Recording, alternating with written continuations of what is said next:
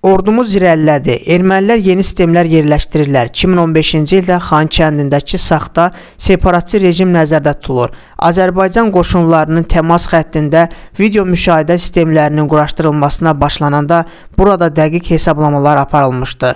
Daha sonra zamanla bu sistem kifayət qədər modernləşdirildi. Qlobal İnfos xəbər verir ki, bunu Ermənistan parlamentinin Şərəfin var fraksiyasının deputatı Tigran Abramyan qeyd edib. Tigran Abramyan parlamentdə müzakirə zamanı Qarabağda bu sistemin yenilənməsini təklif edib. Bu sistem hazırda bizdə var, amma ondan kifayət qədər yararlanmaq olmadı, istifadə edilmədi. Sistemin tətbiqində səmərəliliyin artırılması, nəzarət funksiyasının lazımi səviyyəyə çatdırılması baxımından görüləsi işlər çoxdur.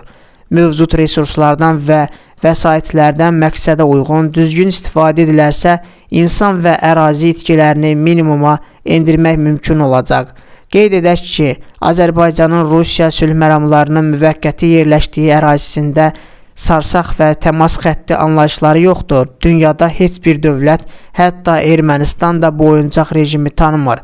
Xatırladaq ki, Azərbaycan ordusu Xankəndiyə qanunsuz silah daşınması üçün istifadə edilən Xankəndi turşusu xəlifəli yolunda lokal nəzarət tədbirləri görüb. Ordumuzun bu addımı separatçılar arasında təşvişi artırıb.